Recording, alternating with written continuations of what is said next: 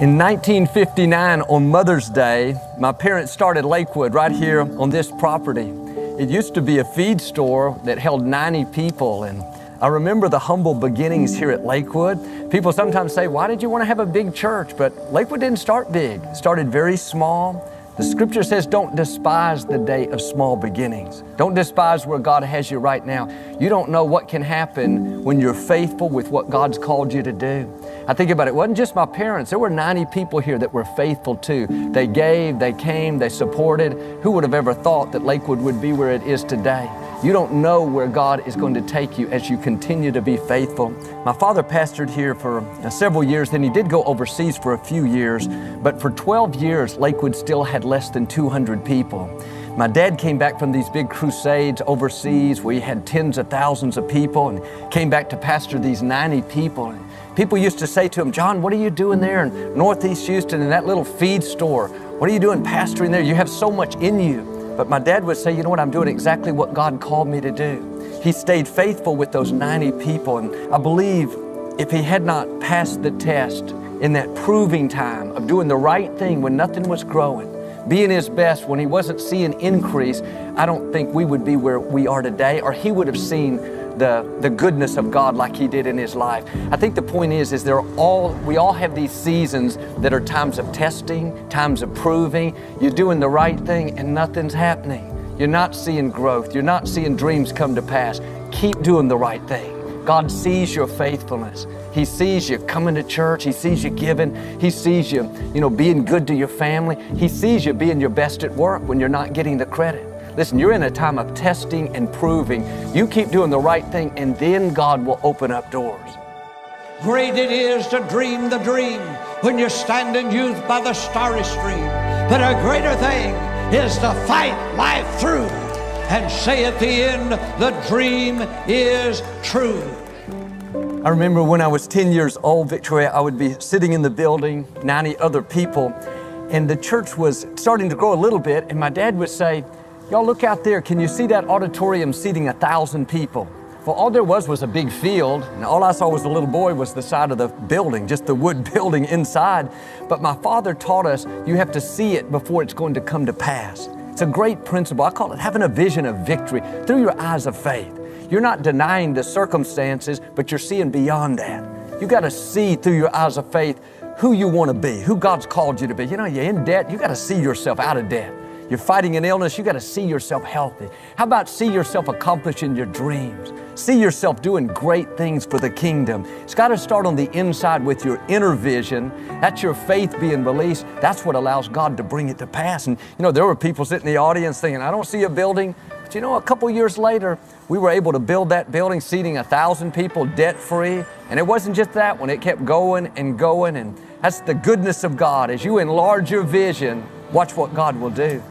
Lakewood was just a small community church, but my dad renamed it Lakewood International Outreach Center. He had this big sign with the with the globe on top of it, and if you drove by, you know, I don't know if you'd think it's an international outreach center. It had a couple hundred people, but again, you got to speak faith into your future. You got to speak faith into your destiny. You got to call yourself who you want to be. And that's what my dad did. And it wasn't at the time an international outreach center, but you look up today and every Sunday people watch the services from every country in the world. Who would have ever thought, man, it started way back with my parents calling it an international outreach center. Call yourself, your dreams, your children, call them what you want them to be. Call them what God says they are. Jonathan was just learning to walk, and we were shooting some pieces for our new television opening. And we had Jonathan run up to my father, and it just all worked perfect. And that became part of our TV opening for many, many years. Well, Jonathan's now, you know, 26 years old, children are growing up. The principle is from generation to generation, we're going to tell of God's goodness. I don't know if you came from a heritage of faith like I did. If you did, take it further. Keep God first place. Keep honoring Him. Who knows what'll happen, what you'll make happen for future generations. Well, you say, Joel, I didn't come from a heritage of faith at all. Well, you're the one to start it. You wouldn't be hearing this unless God wanted you to set a new standard, to take your family to a, a new level, leave a legacy of faith let me tell you, generations to come, they'll look back at you and say, You were the difference maker. God has good things in store for you and your family. Let's be people that honor Him, and who knows where God will take you. Your seed, the seed of the righteous, are going to be mighty in the land. I was 37 years old when we founded this church. Can you believe that I was ever 37? I've given this church almost half of my life. But today, as I celebrate 75 years and 57 years in the ministry, I consecrate myself to be a good pastor. My father preached his last sermon in December 1999 here at the East Houston campus, and many times after service, he would he'd go out the doors that way, or sometimes he would go out these doors. He parked right out there, and it's interesting. The last time he ever went out these doors, it was on a Sunday night. He stopped and he turned back around. My friend Johnny was with him, and he just paused and he looked back over the whole auditorium and he said, Wow, Johnny, can you believe what God has done?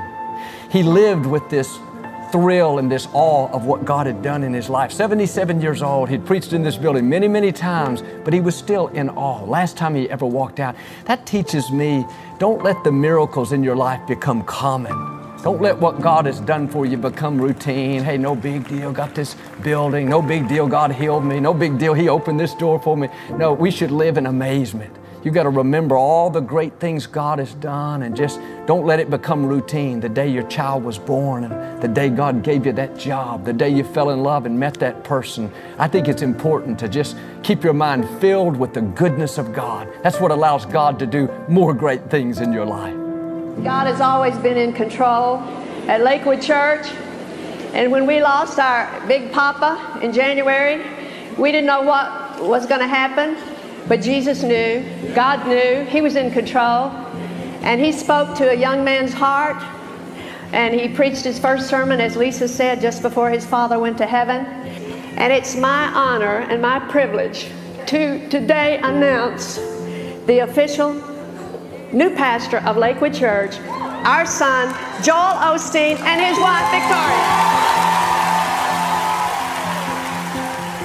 You know, Joel, when your father passed away and we assumed the responsibility of lead pastors, when we looked at this building, it was amazing. We didn't know if we could even keep it going. So we just were doing our best to put one foot in front of the other, just trying to be there, trying to be in the moment. And I remember our children were so small. Let's see, Alexandra was uh, three months old, Yeah. and Jonathan was, what, three and a half. And uh, it was just such an incredible feeling to just just call out to God and say, God, help us. We don't really know what we're doing. I know. That's what it's all about, you know. God gives you grace for every season in life and never dreaming it would grow and where, where we would be today. And I think about Victoria, we all go through disappointments and all go through loss and heartache sometimes. And you think, oh man, this is, it's never going to be good after this. But you got to know God has beauty for the ashes. I've learned God doesn't close a door unless He's going to open another door.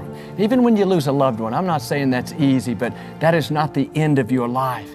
You have to let go of the ashes before you'll receive the beauty. So I just encourage you that God's still in control. He's still ordering your steps. He has good things in store for you and your family. You keep moving forward. I'm not saying you're going to understand everything in life. I wanted my dad to live to be 100. He passed at 77 years old, but you know what? God was in control, and He even used that to push us out into our destiny. So I know God has beauty for those ashes. You let go of what you don't understand, and you move forward into the new things God has in store. You know, God is such a good God, and He is, amen. And Joel has always uh, been a believer in holding on to your dreams. And he taught an awesome series of messages on holding on to your dreams. And I want to tell you, this man fought the good fight of faith.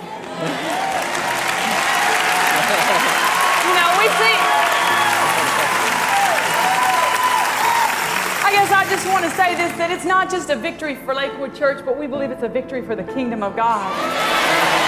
We believe it's a victory for the kingdom of God for pastors all over this world that they can hold on to their dreams and that God wants to do big things. And He wants to take our take the church to a newer and higher level. And I saw Joel day after day and night after night go into his prayer closet and do war with the enemy. And I want to tell you, it's been such an encouragement to me to know that when you press into God and you consecrate your life to Him and you give Him everything you got, He'll make your dreams come true. And yeah, Daddy started the dream, and he not only passed on the mantle, but he passed on the dream. And the dream is true, amen? You know, there's one thing I have to say Joel has always been so very dedicated.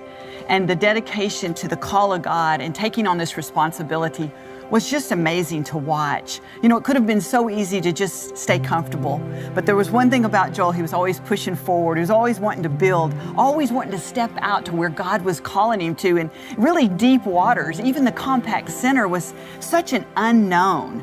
And, you know, I just admire the way, Joel, you just kept that big picture in front of you, trusting God, believing that if He's called you to do it, He's going to provide. And through all the people, through all the giving, through all the support, God has done amazing things through this ministry. You know, it reminds me, you have to take the limits off of God because I didn't think I could do it. I wasn't trained to do this, but when you believe, all things are possible. And I've learned God puts things in your spirit that are bigger than your mind can handle probably at the time.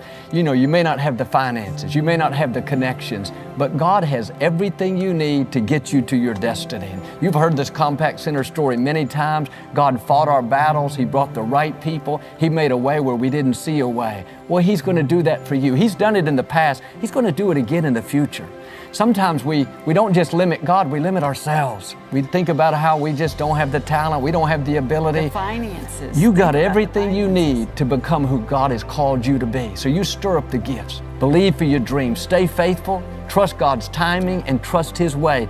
May not happen the way you thought or in your timing, but God's ways are better than our ways. But I'm honored and thrilled to be able to step into this new position of leadership here at Lakewood Church. Daddy was my hero, and I'm just humbled to follow in his footsteps. This is the production control room, and I've spent a lot of time here directing the services. Every time my dad spoke, I would have to listen to the message four or five different times because I had to edit it down to time. He may speak 40 minutes, and for the TV program, it could only be 25 minutes. So I would hear those messages again and again, all the stories, all the scriptures. And I'd have to try to figure out my dad's train of thought to know what I could cut out.